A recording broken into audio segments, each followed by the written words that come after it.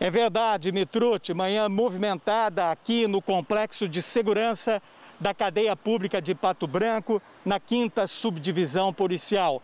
Agentes penitenciários, com apoio da Polícia Militar e de eh, policiais civis, atuaram em mais uma ação na manhã de hoje, conhecida como arremesso.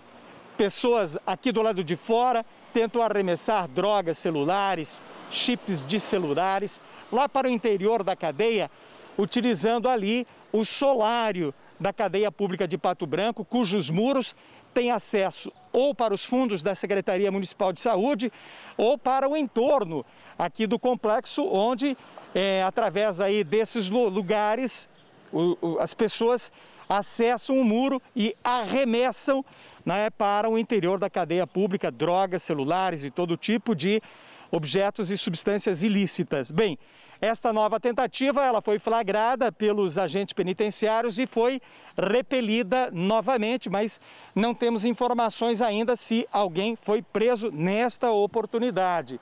Geralmente, é, o, os criminosos tentam utilizar menores de idade para este crime de arremesso.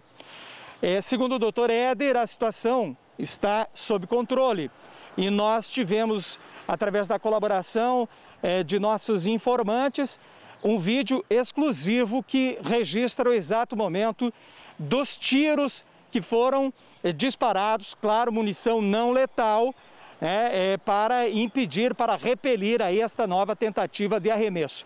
Confira o momento dos tiros. Muito susto!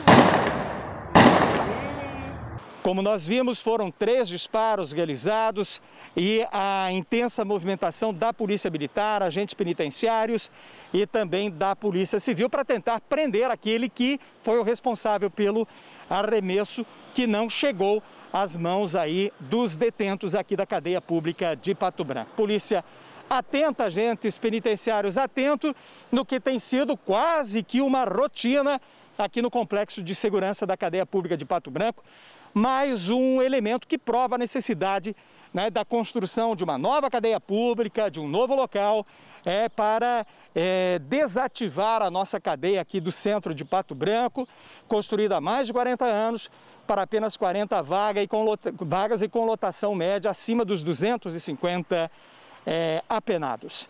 Da cadeia pública de Pato Branco para o repórter Cidadão.